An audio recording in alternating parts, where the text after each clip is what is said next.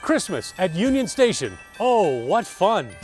I'm Rob McCartney. And I'm Brandy Peterson. KETV and the Durham Museum invite you to Omaha's favorite holiday tradition for a full season of fun. Bring the kids to visit Santa under the glow of the magnificent Christmas tree. And enjoy other seasonal events like family nights, concerts, and so much more.